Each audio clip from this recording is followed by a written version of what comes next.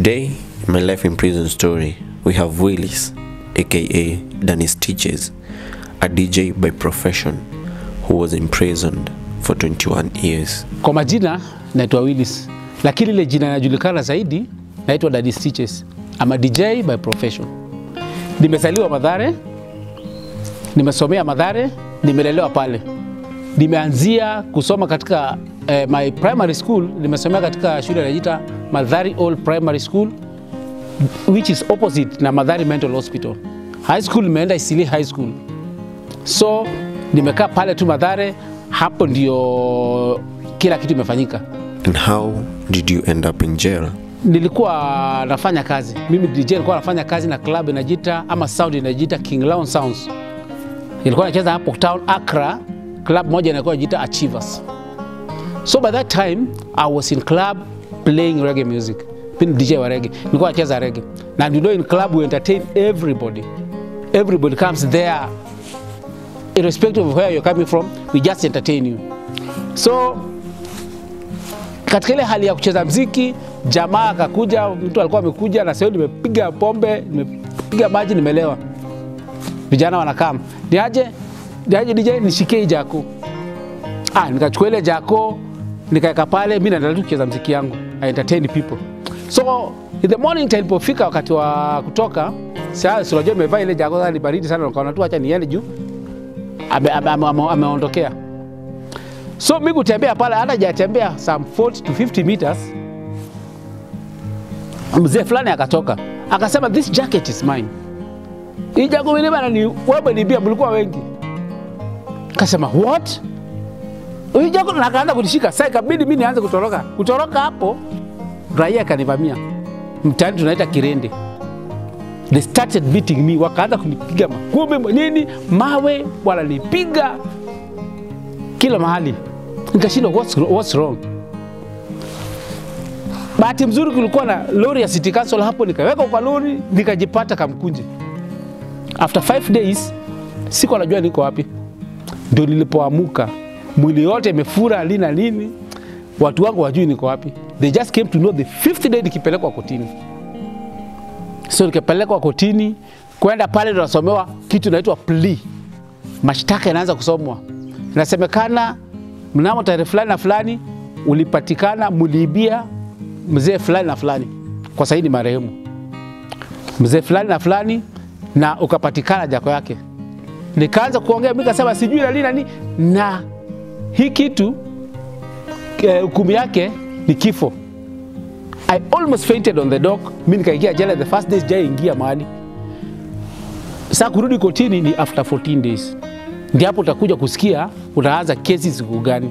That was a plea ujue ile kitu. Sasa ilipofika huko remand, sasa unaanza unauliza watu kunaenda namna gani, mimi sijui kunaenda ugali ya jela ilikuwa ni sijai ugali, ugali chakula ya jela ni ile chakula hata ukipatia mbwa itakufa saa hiyo hiyo, hizi mbwa zetu za mtaani but people eat hiyo chakula na ina sustain mpaka saa hii. So you can imagine by that time it was early 2000 ndio nimeshikwa. He continues by telling us how he was found guilty and convicted. Mimi sijakaa jela sana, nimekaa only 21 years only. Eh, nilikuja tu last year maficha hata Kenya sijajua poa. I'm just being directed here and there. Sasa niliporudishwa kotini kwenda kufanya kesi, unaambiwa ukikubali, watu wakaniambia usiende kukubali, afadhali ufanye kesi, maanake utanyongwa. Sasa nikakuwa na wasiwasi, nitaenda kusema nini? Lakini sasa huku kuna maloya pia wanajificha, unaficha aende useme namna hiyo. Nikaenda koti, kwenda koti, unaambiwa utafanya kesi, si unaanza kesi sasa na jamaa. Jaji aliniambia only one thing, ikifika mahali pa defense sasa wewe toa hii jacket, weka chini and go home. Utatoa namna gani? Manake complainer came there akasema, akatoa alama za jako yake, hiyo alama iko hivi, he proved everything. But mimi siwezi prove kitu yote manake si yangu. Ile time ya kusema nilipatiwa shida nani? Hakuna. Amesema ni mimi mlikuwa na visu mlikuwa na bunduki mlikuwa na nini? Of which sijaishika mimi sijawahi ibia mtu hata sijaiba bata sukari. I've never hata pickpocket sijawahi. Kesi nayo imefikwa ya robbery. Ikakuwa mimi siwezi, siwezi toa ile jacket niweke chini. Dajuko akasema sasa juu kesi imekishika, the only sentence of this is death penalty. Mimi nikahukumiwa kifo, nikatolewa ka- sasa kaile, kaile ile life ya remand nikapelekwa katika life ya mfungwa. Sasa He tells us that life for him in prison was miserable. wakati wa huko sasa, unajua ilikuwa na wakati wa Moi, jela ilikuwa so cruel, prison warders walikuwa very rude. Hakuna mambo kama ni kunguru, kunguru unapati, unaweza patiwa ya juu. Kama mimi nilipewa shati imeraruka, kinyasa hakuna, haungeweza kuvaa hata underwear, hata handkerchief kama hii ilikuwa ni crime wewe kukuwa nayo. Mimi nakwambia maisha ilikuwa ni ngumu for 24 hours. In 24 hours, in 24 hours you only get out for 30 minutes kwenda kuota jua 30 minutes that is 15 minutes in the morning 15 minutes in the afternoon and that's it. Na inaanza kuhesabiwa mlango fulu ukienda. Nimeingia jela wakati mtu hawezi vaa hata patipati. Nimeingia jela wakati unalalia simiti. Na hakuna blanketi. Ukipata blanketi ni just a piece of, or a piece of blanket. Alafu jela ina baridi. I've seen people die. Nimetembea jela karibu zote za jela hii, jela kubwa. I've gone to Kamiti. I've gone to Shimolatewa in Mombasa. I've gone to Manyani. I've gone to Nyeri King'ong'o. I've gone to Nakuru. I've gone to Kericho. I've gone to Kisumu Kodiaga. I've gone to Kibos. Just rotating. The laws of jela dictates that hauwezi ukakaa mahali miaka mbili, maanake kichwa yako anasema utafikiria mambo mbaya na unaanza toroka ama fanya kitu mbaya. So ukipelekwa jela fulani, network inapotea. And, the, and when networks get lost, una, unapotea unapotea hata watu wako. Sasa mimi niko Mombasa, sijaenda Mombasa tangu nidiniwe, lakini jela nimepelekwa na jela Mombasa. Mtu wangu wa Nairobi atakuja saa ngapi? That's how unapoteza touch na familia so mpaka unapata kuona nimekaa more than 20 years lakini kuna mtu wa familia yangu ajaye kuja hata kuniona because anashindwa niko wapi so nimelala jela kuna wakati mmoja jela rungu ni kawaida rungu kupigwa mfungo wa kupigwa rungu hiyo ni chakula. Ugonjwa niliingia jela wakati hauwezi enda hospitali. Maanake ukiwa condemn umepigwa chain chain ni pingu umefungiwa nyororo hivi askari yako wild na wewe ukienda kuonana pale unatembea mguu tupu anakuvuta namna hii ukiongea na mtu pale dakika ki- unaongea one, one minute mtu hawezi kuona tena unadhani mtu atarudi? Hawezi rudi. Chakula ilikuwa kidogo. Maragwe unaweza pata. I counted maragwe kwa ile miaka nime- nimekuwa condemn. Aipitishi maragwe moja moja kumi na tano. Kamoja kamoja. Kamoja kamoja hivi.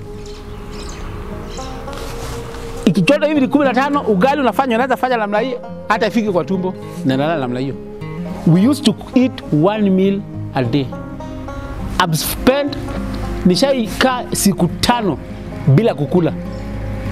Five days consecutively bila kukula. Wakati huo jela tulikuwa nakula pika na kitu inaitwa boiler. Boiler inawekwa mafuta ya taa, mafuta ndio inaguruma, alafu maji inapotea, mafuta hakuna. Naweza kumbuka serikali ya Moi nyakati hiyo. Sasa five days chakula hakuna jela, watu wanaanguka, ule ambaye ajiwezi Sasa wengine wanakufa, kama ulikuwa mgonjwa hivyo tu. Unakuja kupata chakula the sixth day, unapata mfungo anakula chakula ugali ushaona mfungwa anakula ugali na maragwe uji maji mpaka anakufa mwingine amekufa amekosa chakula, lakini mwingine amekuja amepata chakula the sixth day anaikula mpaka anakufa. Na kukufa jela jela, hiyo ni kawaida. Me have seen people die. When that hata one day I was sleeping with somebody kidogo tu usiku pale, kola na blanket kidogo ambao umeweza jifunika inafika mpaka hapa. Sasa usiku pale ndio kuna baridi, lakini unasikia unusual cold. Unusual coldness iko pale, mtu akuzaguza eh, kidogo, kumbe mtu amekauka kukauka, ikabidi mimi nimpige kumbe hivi kidogo, aka- aka- aka- aka- akaenda pande hiyo ingine, nikajifunika poa. Alafu najua hakuna stima, hakuna ni mahali kwa cell, a dark cell, na hakuna stima pale those days. Ha, kwa kuangalia mtu vizuri, asubuhi imefika, kumbe mtu alikufa. Sasa inafika hesabu inakuja, jela hawezi sema mtu amekufa. In prison you say mtu amelala. Maanake ukisema mtu amekufa utasema wewe ndio umemuua. Jela mtu akufagi. Jela mtu inasemekanaga ameshindwa kutoboa kifungo. Sasa inakuja pale, aya ni ngapi? Nane, lakini mmoja amelala. Askari wanajua ili nini inaendelea. Huyo ameshindwa kutoboa kifungo. Sasa ushaona mtu amekufa na furahi, sio kama huko mtu akikufa mnasikia huzuni. Amekufa na furahi, anasema hey, asante Mungu, leo nashiba. Anakuja pale, chakula simeingiwa, kama ni chakula watu nane, inaingia na mururu yake, nakula kuna mtu na mururu, unamwekea hapo, uone kama ataamuka kukula. Kusipoona amuka kukula na mururu anataka kutoka, napiganisha kwa ile yangu juu mimi nilikuwa nalala na yeye, napiganisha ile yangu siku hiyo nashiba. Kama nilikuwa nakula maragwe 15 na yake hii 15 inakuwa 30 na ugali mbili, siku hiyo si nimeshiba. Nasema Mungu asante. Jamaa amefanya poa sana kude kudedi. Nimekaa na mtu hapo 2 days. Tumekaa tu hapo, tumekaa watu wengi, lakini sasa unajua nalala naye 2 days. Sasa anakuwa ni kama harufu inaanza kuwa ingine. The, the, the second day jioni itakuja kutolewa. Na ilikufa siku gani? Siku yake. Kutolewa mtu mwingine akuwa fixed pale. So hiyo ndio ilikuwa wakati wa jela. Jua unatoka kuota pale, unakuja unalala kwa simiti. Mimi najua kunyoa mpaka na askari anakuja pale anakwambia sitaki kuona nywele, na hajakupatia mashini, hajakupatia wembe ya kunyoa, lakini kesho hataki kuona. Unaona bulb hili mzee,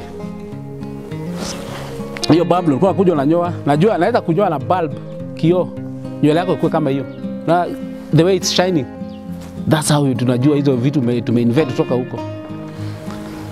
Jela ni mahali mtu akienda kama una akili a positive uh, mindset, watu wana wanaharibika sana. From afar, you can feel the pain in his voice, knowing that he was innocent. But in prison, and he tells us that more than half of the people in prison are innocent too. And I want to tell you, 70% of those people who are in prison, 70%, I repeat that, are innocent. Mwingine amechukua simu ya mtu tu, mwingine amevaa sijui kitu yote, ameshikwa huko. Mwingine ameshika msichana mdogo, mwingine alikuwa rafiki na msichana wake, ni rafiki yake, anapelekwa huko ati defilement na anafungwa maisha. Sasa mimi yako kondee mpaka inafika wakati wa 2008 I think you saw on TV what happened in 2008 wale vile kamiti watu walikuja wakapigwa. Kamiti walikuja wakapigwa sana ati walikuwa wanafanya sijui nini la masimu. So askari wote walikuja wakaitwa tukapigwa sana pale wengine wakavunjika miguu wengine wakakufa hivyo hivyo. I was the in charge ama mkiongozi wa hiyo block wakati huo. Nilipigwa sana. Very very bad. His wife left him when she realized that there was no hope left to see him again. He tried to commit suicide several times. Jela ni ile wakati nilikuwa, nilikuwa na msichana. Nilikuwa naye kwa nyumba, let's call him my asikuwa married to officially but let's call her my, uh, my wife. So alipokuja kuniona one day, akaambia huyu bwana wako amekuwa wazimu na huyu bwana wako tunamnyonga kesho. Alipokuja kuniona hivyo akasema hizo ndio nguo za kunyongwa, and that's how, how she went. Sikumwona tena nikakaa jela, nikazunguka jela zinaenda. So ikafika wakati ule ikakuwa sasa tulikuwa ilikuwa tunyongwe, maanake tulikuwa tumekuwa tumekuwa monotonous. Ushaikaa mahali mpaka unasema ah, kiishe kiishe. Ilifika wakati roho yangu ilikuwa imekuwa mzito sana. I tried to commit suicide second eh, eh, mara, mara mbili watu wamelala, so zile blanketi mzee utajaribu kupasua kidogo, alafu unatengeneza them, then unaweka kwa dirisha. Dirisha iko mbali huko, lakini utakanyaga tu kitu kidogo, alafu nikajinyonga. Maana nilikuwa naona sasa hii shida mimi naenda nao wapi? Nimejinyonga mpaka alikuwa na hii mambo ya kujinyonga ni nguvu, hata watu wanakupata ni ngumu, hata watu washindoka wanakuwa na nguvu namna gani?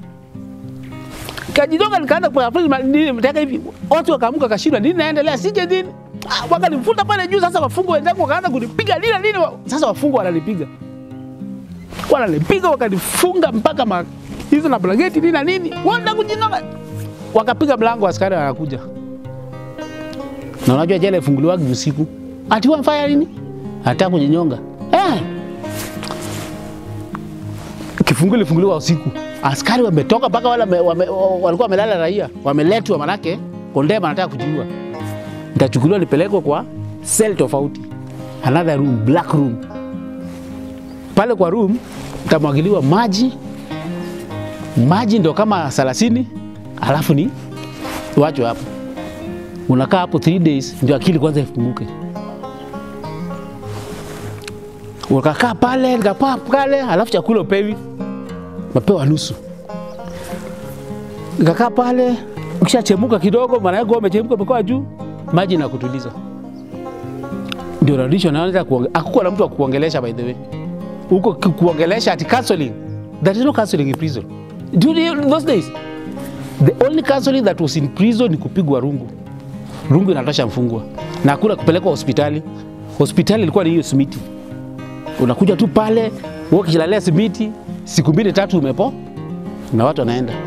So hata wafungwa hao wanakuja huku, their bodies are weak. So tukakaa pale, mateso ni mengi sana ndani huko, kakaa pale And when were you released from prison?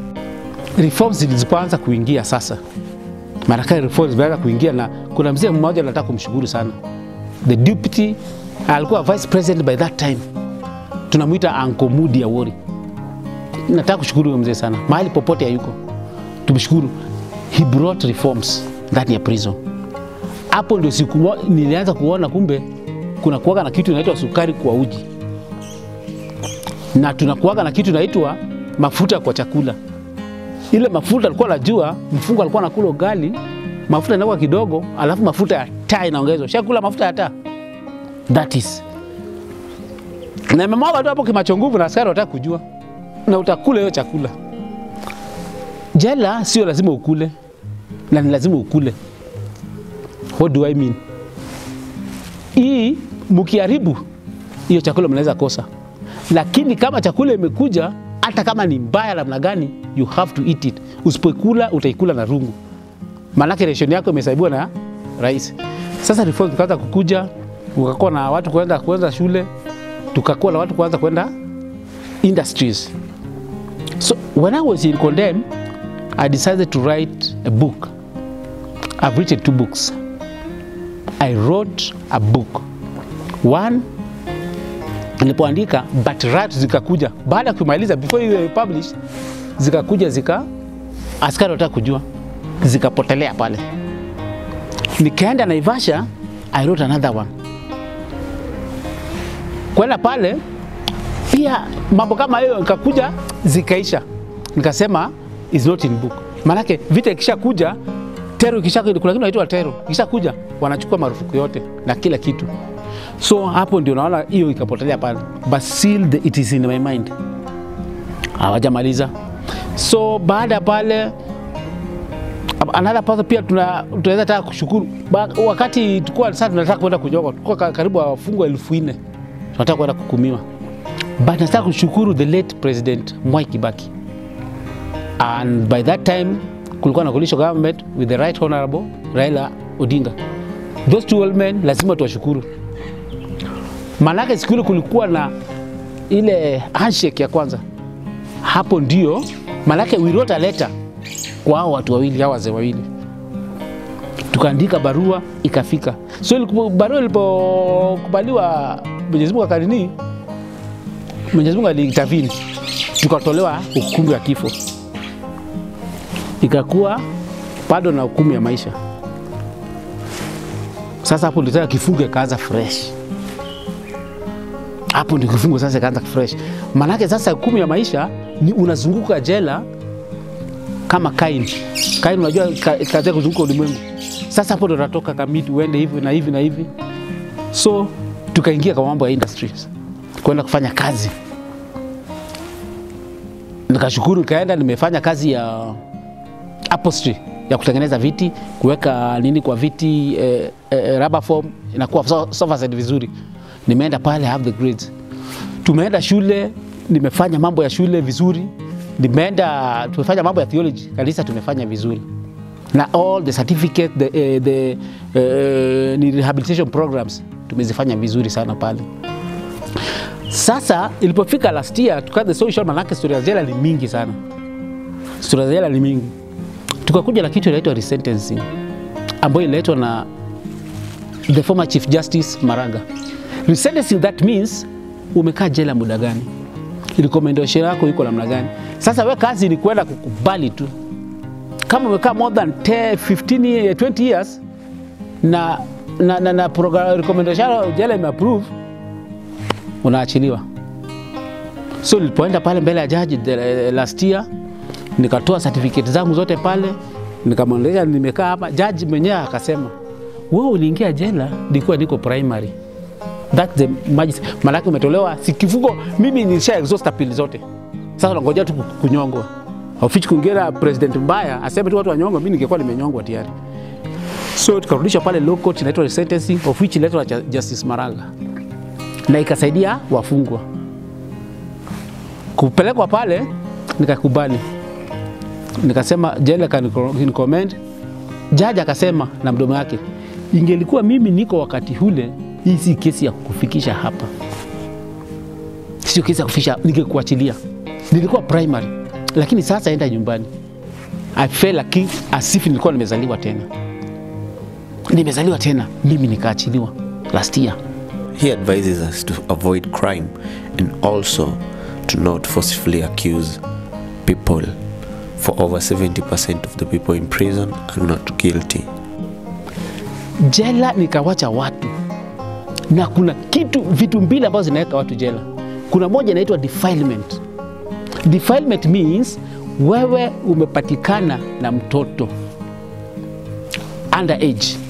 Ukipatikana umeweka mtoto underage kama miaka nne miaka 4 eh, to 9 that is life imprisonment that's umedefile. Na hapo ndio unapata kuona wanawake wengi, ndio usikie watu wako huko jela, hata wazee wanawekelea huko. Wanawake wengi, mzee mwanamke pengine wame wame, uh, wame, wame, wamesikizana mtoto wake wanyang'anye mzee shamba. Sasa mtoto mdogo anakuja, mwanamke ataingiza tu kitu kidogo kidole pale na, na defilement ina, ikienda kuangaliwa inaangalia tu mambo mbili, there was a penetration na evidence ya daktari period. Sasa wanawake wanageuzia wazee, mzee anaenda laumia huko jela, ati amedefile mtoto, anafungwa maisha. Kama ni kale kashamba ama ile gari ulikuwa nayo, mwanamke anauza. I think you've seen on TV wazee wamekaa huko more than 20 years. Mtu anakuja hapa anasema aliwekela mtoto akigrow anasema aliongozwa na mamake. Vijana wawili both are 17 years, msichana na mvulana walikuwa wapenzi, wanaendelea na mapenzi yao vizuri. Inasemekana kijana mama ya kijana mama ya msichana anasema kijana amedefile product, na walikuwa wapenzi.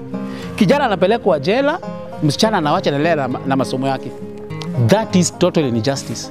Inastahili kama watu wawili wamefunguliwa, wamepatikana wame- ile makosa, wapelekwe jela wote. Majority of young men there wamewekelewa.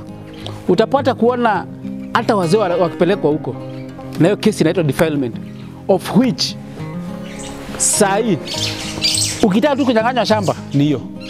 Kijana akitaka kwa mama akitaka kuadhirisha kijana boy child, sasa boy child ana bahati ndani ya Kenya.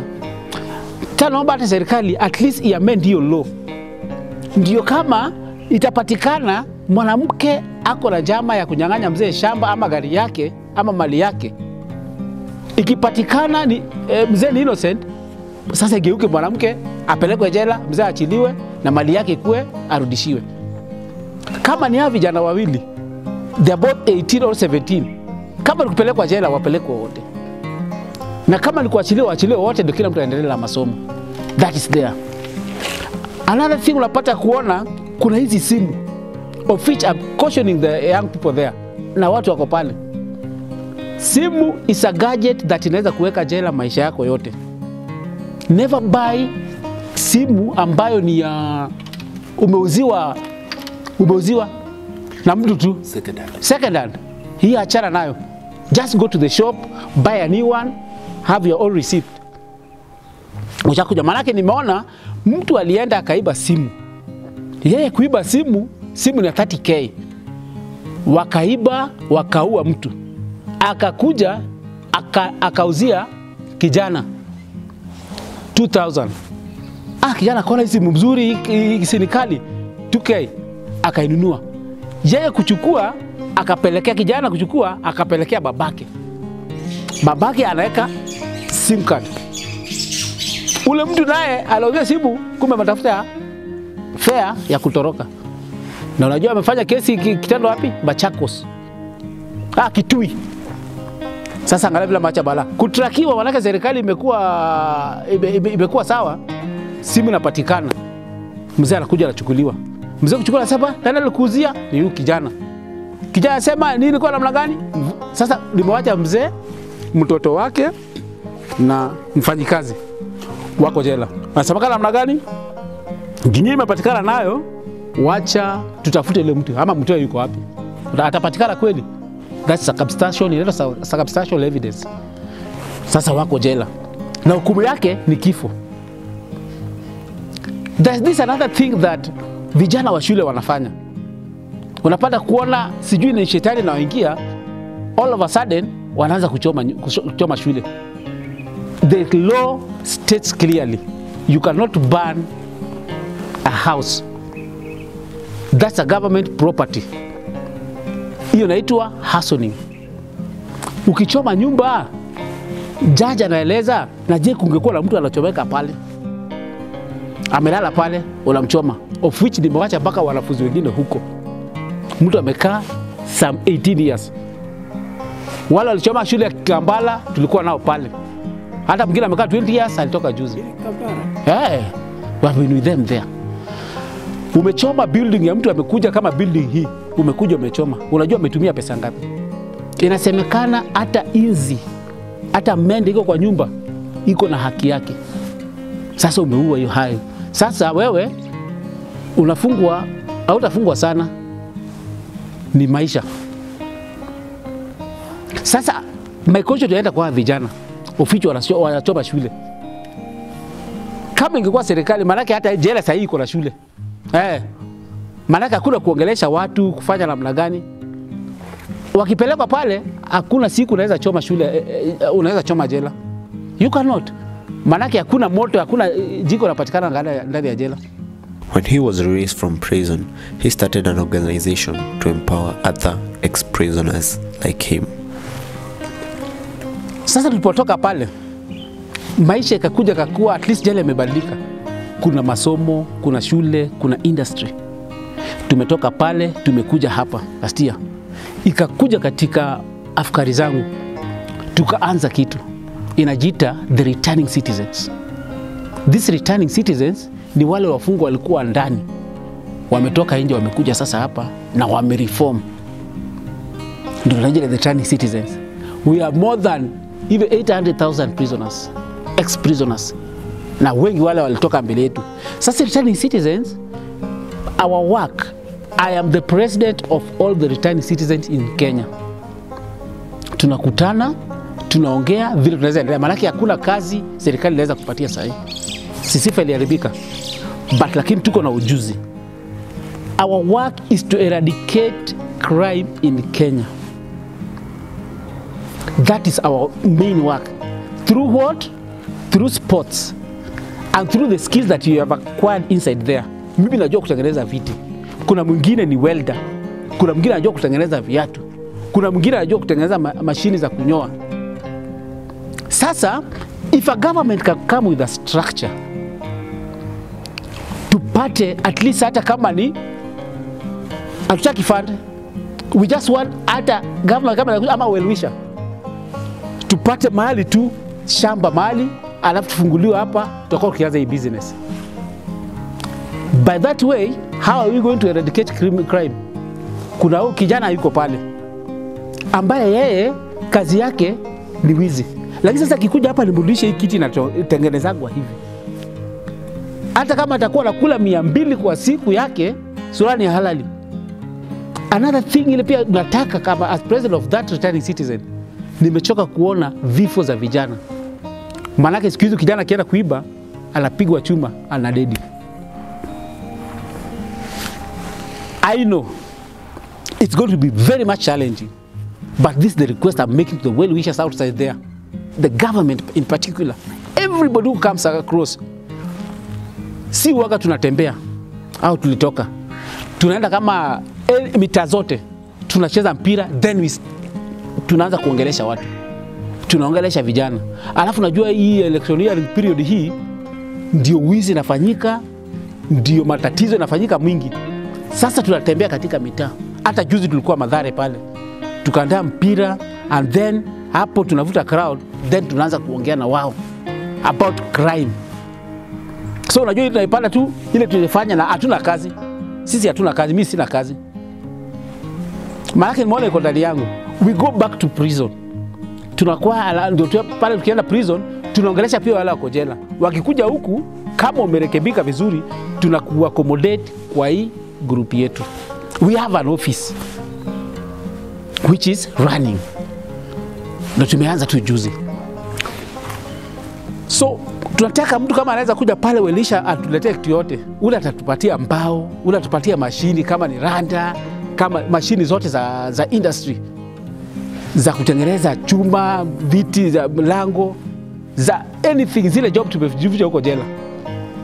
We can make our own industry and make employment and eradicate crime in Kenya, which is very much possible. And by, that, by now it's working because anytime tukienda katika mitaa tukiongea na wa- wasee wanasikia ile mambo. Ule anataka kusikia pia sunamwachia nature. Nature will uh, dictate him. Sasa si waka tunazunguka hivyo mitaa zote. We just play. So ile kitu natuma tunavuta through sports. Maanake tumekuwa na watu wengi. Tunataka kuangalia hizi nature hizi talents. Kama mtu anaweza imba anaweza fanya kitu yoyote. For as long as kijana anaweza fanya kitu yoyote. Hata kama msichana ndiye alini, then tunakuja unawafundisha eh, sheria za za crime. Tuambie wewe ukifanya hivi kifungo yake ni hivi, ukipatikana mshahara fulani kifungo yake ni hivi. That's what we are doing. Hata sasa hivi kuna program bado tutakuwa tunaenda Kibira kuongea na watu, tutakuwa tunaenda Kawangware, tumeenda hivi. Nataka katika hii eh, electioneering period at least tukuwa tumeingia katika hizi hotspots eh, serikali inasema tutakuwa tumeenda hatutaki mfungwa limemaliza miaka ishirini tena niende tena nimalize miaka ingine ishirini. Rafiki yangu itakuwa aje? Haitakuwa.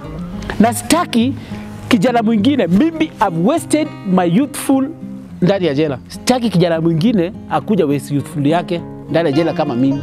Nataka tuguro pamoja tukienda. Na ile kitu niko nayo kijana kama utakubali kuchukua you just take it. Kitu ingine nataka kuongelea sana na kui- kuicondemn ni drugs. Drugs inatupianisha vijana sana. Juu akikaa mtu akishapiga, kuna lego, kuna mashukisha, uh, kuna, ku- kuna, kuna vichuri, lugha ya mtaani tunaziita zote hizo. Vijana wajua mi naongelea nini. Kuna madibi, watu wakishapiga hizi vitu inawashotu ni aje, mtu anaweza hata kunyonga babake. Rafiki ya babake yakutu pale anamnyonga hapo saa kumlevi. Unaona? We need to change these people. We need to rehab them. And to, to change them is to tell them the truth. The consequences ya hiyo ulevi unafanya. Juu siku ile utakosa hiyo ulevi. Unajua mtu ambaye amezoea kutumia hizo vichura akikosa he can do anything mpaka ipate and that's what tunataka kuje tumalize ndani ya Kenya. So any well wishers out there, outside there, you can be watching this thing whether you are in abroad, whether, you are in America, in Germany, in Austria, everywhere you are. We have a group called the Returning Citizens. I am the chairman and the president of the Returning Citizens, which means the ex-convicts who are convicted from prison uh, have come back to, to their country. We want to eradicate crime totally in this country. We have skills that the skills that we have acquired in prison. So I'm appealing to well wishers everywhere. If you're watching this TV, I'm appealing with a solemn heart, coming with a lot of humility. Please come on board and help us. We have an office and a group that is moving deeply. So, the skills that we have acquired, we want to teach all the young people outside there who can make beds, who can shoes, and every other thing. Any, any, any talent that they have, we want to change them so that there will be no crime in Kenya. And the government outside there, please accommodate these people. Make them the use. Don't discriminate, don't discriminate us, but make us a bridge to use and to heal what is happening in, in Kenya. Just use us. And anything that's happening in Boni Forest, anything that's happening in Turkana, clashes that are fighting, you will have easy time using us as a bridge to go and preach peace to those people because it's only thing. Maybe ni vizuri peane contact zenu na useme kule ofisi na kuaga for anybody who would want to support you. Okay. We have a moving office. My personal contact as the chairman, my, my phone number is 0712 739 943. I repeat 0712 739 943. We work closely with the crime CPOA. We work closely with the vision for change and we work closely with anybody who comes on, on board to support us. That, that call, that call that number. We don't have a, a specific office because it's, a, it's something that has started. So we are working that, that way. Our work is to preach peace outside there and at least to come together. We are many people and we have nowhere to go. So if you call that number, you can easily reach me and we can talk more. Watazamaji wa Ituge TV, you have heard it all. What a moving story by the president of the uh, returning citizens. That means there's conflict. Is such a story, such an advice, you can never go wrong. Let's keep supporting these people where we can to reduce crime. For more of this, keep watching, keep subscribing. Itue TV, Maina Muirore. Thank you.